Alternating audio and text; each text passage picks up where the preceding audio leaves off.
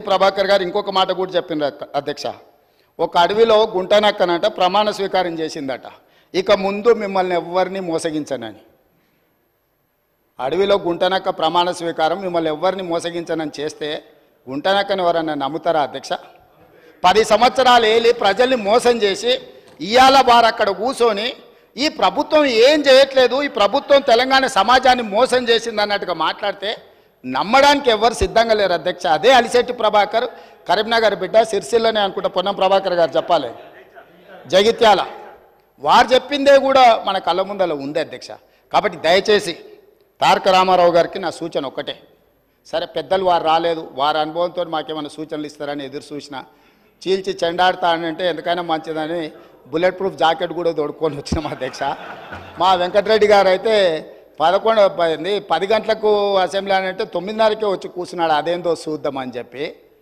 ఒక సినిమాలో మీకు తెలుసు కదా అధ్యక్ష?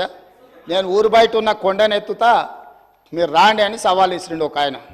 ఊరంతా వచ్చిందారే ఎట్లెత్తుతాడో చూద్దామని ఇంకా పేల్వాన్ కూడా కొండ దగ్గరకు వచ్చిండు. వచ్చి మొత్తం జబ్బలు జరుచుకొని తొడలు కొట్టుకొని చెప్పిండట. మీరు అందరు కలిసి ఎత్తి నా మీద పెట్టుండి మోసి చూపిస్తా అని. గట్లనే ఉంది అధ్యక్ష వాళ్ళ చీల్చి చెండాడు కూడా. కాబట్టి దయచేసి ఇప్పటికైనా సబ్జెక్ట్.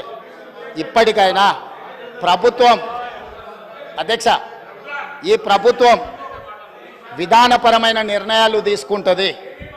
ఈ ఈ ప్రభుత్వం పాలసీలు తీసుకొస్తుంది. ఈ ప్రభుత్వం రైతు పాలసీ తీసుకొస్తుంది. అంటే వ్యవసాయ పాలసీ తీసుకొస్తుంది. ఈ ప్రభుత్వం స్పోర్ట్స్ పాలసీ తీసుకొస్తుంది. ఈ ప్రభుత్వం ఆర్టిఫిషియల్ ఇంటెలిజెన్స్కు సంబంధించిన పాలసీ తీసుకొస్తుంది. ఐటీ అండ్ ఇండస్ట్రీస్ పాలసీ తీసుకొస్తుంది ప్రభుత్వము ఎనర్జీ పాలసీ తీసుకొస్తుంది ప్రభుత్వము.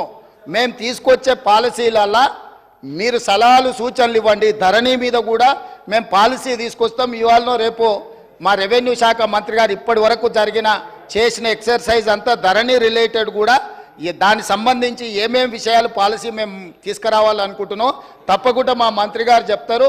వారు కూడా